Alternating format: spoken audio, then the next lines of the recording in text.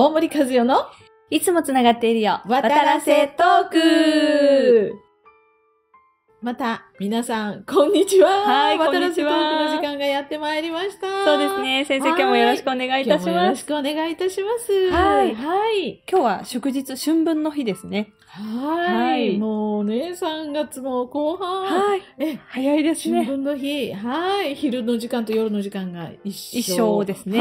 はい。で、ぼたもちを食べなきゃいけないと。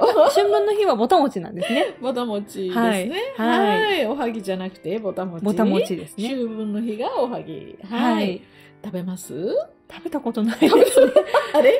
食べたことない？あ春分の日に ってことですよあね。秋分の日。春分の日にぼたもちっていうのを私知りわか。りますか？ぼたもちとおはぎの違いをさっき知ったんです よ、私。あ、私言ってたんですよね。そうなんです、そうなんです。棚からぼたもちとかって言いますもんね。ええええあじゃああんまり棚からぼたもちってことわざ聞いても、あれですかね、若い世代の人は何が落ちてくるんだろうって思うんですかね、あん棚から。このお餅ってことはわかるんですけどあんね。このね、ははいい。まあ、あの、お餅が入ってるんですよね、ぼたもちは。ぼたもちはでお餅の外側があんこ。あんこがついて、はいで、おはぎは外があんこで、中に、あの、もち米？あ、もち米なんですね。もち米っていうか、あの、ご飯。ご飯とかですね。はい。はい。私、どっちかっていうと、はいゆみちゃんどっちがいいですか？私、ぼたもちが好きいや、私もなんかあの、ご飯とあんこっていうのはちょっと、そうなんですちょっとなんか、甘いご飯って感じでね。そうですよねええあの、皆さんはどっちがお好きでしょうか？はい。ぼたもちってね、本当に、ね食べないかもしれませんね、今あんまり。そうですね。ええはいあんこ美味しいんですけどね。はいうん。まあ、日本独自の行事だそうですね、春分の日というのも。そうですね。やはりはい日本はご先祖様をね、大事にする、まあ、国民でもありますので、はい春分の日も秋分の日も皆さんお墓参りに行かれて、おそうですね。墓掃除されてとかね、はい。はい、あの、お花描いてとか、いろんな、あの、そういう行事をね、はい重んじておられるんではないかと思いますけれども、はい、皆さんはどんな春分の日をお過ごしでしょうか、はい。花粉症の人にとっては辛い春分の日かもしれませんけれどもね、はい。ゆうちゃんもさっき、ハクショーンとかって。先生先生に笑われてしまいました。ははい。い。ちょっと、似合わないく大きいくしゃみだったので。しかも何回もしてしまったので。親父みたいな。はい。はいでもくしゃみって我慢できないですよね。そうなんです。止めれないですよね。ねはえ。でも人がご飯食べてる時はやめた方がいいですね。そうですねはい私も気をつけます。ははいい。はい。先生、3月21日ということなので、もう総会から1ヶ月経ちました。本当。早いですね。早いですね。はいもう未だに興奮冷めやらぬという感じで皆さんからまだご感想いただいたり、ええ本当にあのアンケートを読ませていただいて、そうでしたねす。っごく良かったがほとんどの方で、はい。もう感想もすごくいい感想を書いてくださってて嬉しかったです。えーあの時間のない中でたくさん書いてくださいましたね、皆さん。本当にね、なんかもう次をやってくださいっていうお声も多くてですね。はいで、あとはあの、同じ内容でいいから次をやってくれとかね。やっぱり先生が同じように出てこら宇宙れるんですかね。から泳いでですね、宇宙泳いでですね、出てくるっていうことですかね。ええええそして、おもりもり先生がですねね。登場していただいて、はいでもこの間あのテレビでマツコさん見たらなんかおもりもり先生と 私かぶっちゃってあのマツコさんもねお綺麗ですもんね、そうなんですよね。ね。はい。栗本プロデューサーもお綺麗なんだなってはい。私は思ったんです、先生おっしゃってましたね。ええメイクしたらね、はい。なんかなんか栗本プロデューサーももういいや、もう嫌だっておっしゃってましたけど。嫌でですか？いやそんなこと言わずにまはたい癖になりますよ。そうですね。お願いいたします。ご好評でしたので。次があればですけれども。はい。はい。本当にねあの私たちも楽しく楽しかったですね。ね、やらせていただけた総会で、はい。スタッフの皆さんも本当楽しかった、楽しかったってええ言ってくださってたのがすごはいく嬉しくて、はい。はい、あのただスタッフさんは歌が聴けなくて残念だったとかメッセージが あの神様のメッセージ聞けなくて残念だったとか、はい。あのバタバタしてたのでええ聞けない部分とかが結構あったみたいでね。またあの本当にどこかでええ。メッセージとか読ませていただけたらと思うんですけれども、まあ、そうです。渡らせクラブの意味とか、はい。そういうことまでメッセージいただけると思わなかったので、そうですね。本当にあのありがたい総会でした、はい。あと体験発表をしてくださった方もはい。本当にありがとうございました。した。でも、体験を聞かれて皆さんそれぞれに感動してはい。おられましたので、はい、はい。すごい内容でしたもんね。もうあの体験もね、はい。なかなかない体験でも体験発表をしてくださった方は本当にごくごく一部でお二方っていうか二組だったんですけれども、はいもうあの渡良瀬クラブの方にはたくさんのいつも体験も送られてきておりますし、そうですね奇跡の体験もいただいてます。ははいい。また、総会なんかでお会いできたらななんて思ってます。皆さん、本当ご参加いただきありがとうございました。それでは先生、今日もいつものコーナーお願いいたします。はい。では、いつものコーナーいきます。大森和代の愛のおすそ分け。はい。えー今日は、ラジオの方に来ておりました。おはがきをいただいたということで、そのおはがきの質問を、えー読ませていただきたいと思います。じゃあ、ゆみちゃんに読んでいただきます。はいえー大森さん、はじめまして。昨年大阪の講演会に自宅ポストに入ったチラシを通じて参加させていただきました。楽しみにしながら講演を聞いていたのですが、途中で持病の頭痛が来てしまい、最後まで聞くことができませんでした。今年もありがとう地球号から案内が来て、サイトから番組を聞いたのですが、また途中で頭痛が来てやめてしまいました。さらに、えー頬のあたりにまで痛みが来ているので困っています。何か関係があるのでしょうか？というご質問です。はい。えー、ありがとうございます。おはがきいただいて、ラジオの方にですね。あの、神戸の方ですかね。はい。えっ、と、こういう方結構あの多いです。で、特にあの講演会、スペシャルセミナー、そういう会場で聞いていると、もともと持っていた持病がちょっと辛くなってきたとか、そういうこともあります。えーこちらの場合、講演会の時ですので、例を切ったりはしてないと思うんですが、講演会場もいつもすっごく高次元の光で充満してまして、で、なんか体がだるい感じがするとか眠い感じになってくるという方も本当多いんですけれども、高次元の光によってって、その方の体の悪い部分をこう溶かしてくださるんですね。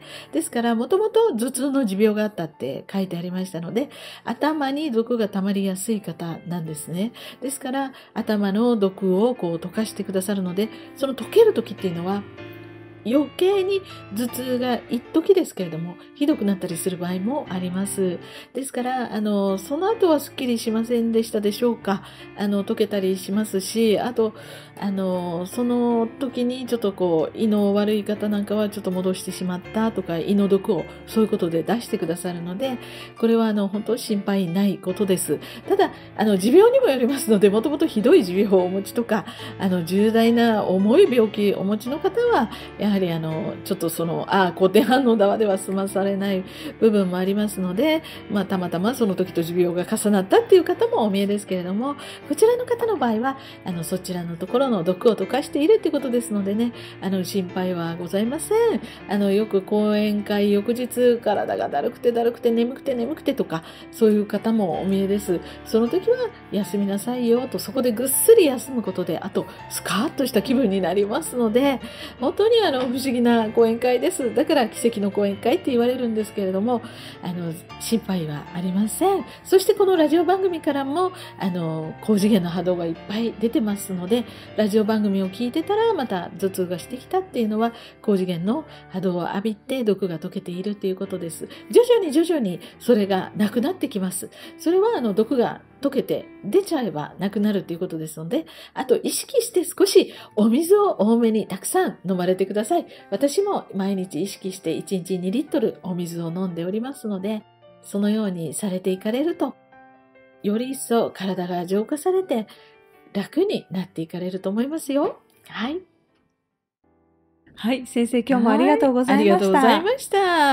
なんか最近よくありますね。あの講演会とか、はい総会とかの後に好転反応が出るっていう声よく聞きます。そうなんですよね、はいでもそれだけ皆さんが本当に素直に、はい。はい、あの素直な気持ちの方こそえ出やすい方多いですから、そうなんですね。毒を溶かしてくださってるっていうことはいを意識されてね、え、はい、あの、あ、ありがたいことだと。で、はいお水をたくさん飲んでゆっくりお休みいただくと、あと、すっきりしますので。そうなんですね。はい。じゃあ安心していただきたいですね。はい、そうですね。はい。でえ先生総会といえばなんですけども、えはいあのねあのご参加されてない方もいらっしゃるんですが、そうですよね。はい、あの、はい先生の新曲があったじゃないですか。はい。はい。はい、あの、母なる愛に抱かれて。母なる愛に抱かれて、ははいいはいはい。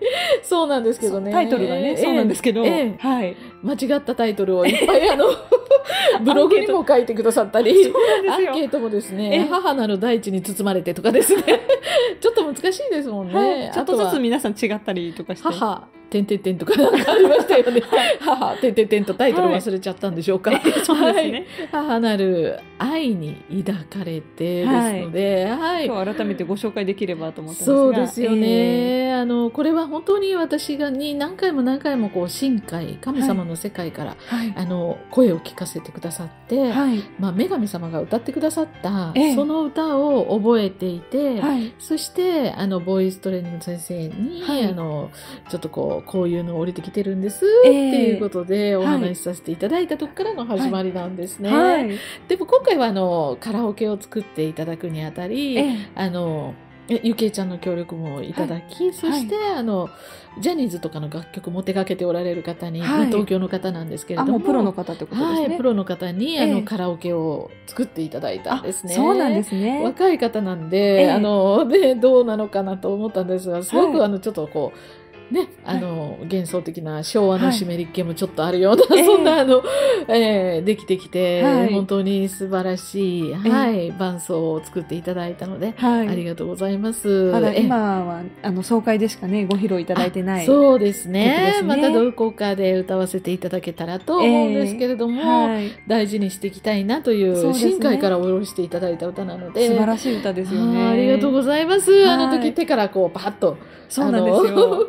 あ の虹色のキラキラがが出たっていうことでね、はいええ。はい。後ろの方から見てらっしゃった方は私の手から何度も何度もキラキラが出てるとサイババさんのように思ってくださったようで、ええ。はい。実はトリックがあったんですよ。ええそうなんですよね。はい。え、あの、そのキラキラ、あの、さよならって幕が閉じたと同時に、すごい勢いで皆さんが舞台の下に拾いに来られてたっていうのを後から聞いたんですけど。はい、お守りで皆さん持って帰られたみたいですね。そうですか。あええりがとうございます。はいきっとパワー入れですよ。そうですよね手から出たもんですからね。はい。はい、ええありがとうございます。またどっかで聞いていただけたらと思ってます。すねはい。はい。はい。そして先生、あの、総会でえ初めてあの、先生のプレゼントコーナーっていうのを作らせていただいたんですが、ありがとうございます。はいあの皆さんどう？受付ってあ、そう、いうことで。プレゼント受付ですね。お手あの、皆さんどのはいように先生にお渡ししたらいいかわからないというお声いただいたので、講演会でね、結構そういうお声があったみたいで、そうなんです。ち今回ょっと作らせてていただいて、ではい。こちらもひょっとしてそうですか？そうなんです。あの、この間のブローチもそうですけど、ええこちらもこちらもすいません。素敵ですね。いただいたんです、はいありがとうございます、はいたくさんの皆さんが今回、はいあのプレゼントくださって、はい。あのお礼のハガキを出させていただきましたが、届いてますでしょうか、ちょっと一言ずつ私手書きで実は。そうなんですか？お一人お一人。書かせていただいて総会の写真を使ってはい、お礼状届いてますでしょうか？はい。私プレゼントしたんだけど届いてないっていう方がお見えでしたら、おっしゃってください。そうですね。はい。本当にねありがとうございます。でもね寂しいプレゼントが一つありましてね。寂しいプレどん、どんなプレゼントだったんですか？いやランチョンマットとええ。コースターだったんですけど、はい。一個ずつ。はい。本当に、うん。これ私一人でランチョンマット引いてコースター置いてはい一。人で食べるわっていうありがとうございます先生セットってことですはい、ね。私をね、はい、一人でいただきます。なんか開けた途端になんか寂しい気持ちになっちゃって、私がなんか一人でこう、ふーっと食べてるの、この人見てるのかなって思っちゃったんですけど、はい、ありがとうございます。はいでも素敵なランチョンマットとコースター、ありがとうございました。はい。ま、あの、また先生のあの、プレゼント受付はちょっと岐阜の講演会でも設けさせていただこうかなと思います。お気遣いなく。ははいい。ありがとうございます。はいあとあの福岡の、はい今4月の講演会の後、はい博多であのチャネリング勉強会っていうのをね、そうですねあの。させていただくっていうことがはい決定いたしましたので、講演会の翌々日、4月の翌々日ですね28日の火曜日ですね。はいあそうですね。はいはい。翌々日、はい、はいあの福岡でまたチャネリング狭い会場ですので、え、すごくアットホームにあ、そうなんで100すね人。弱の会場ですのでね、はい。アットホームに皆さんとお話できるんではないかなと思います。じゃあ。最後恒例の握手会もありますのでそうでねし。たね。チャネリングははいぜひまたご参加ください。ははい。じゃあまた来週お会いしましょう。See you next week. Bye!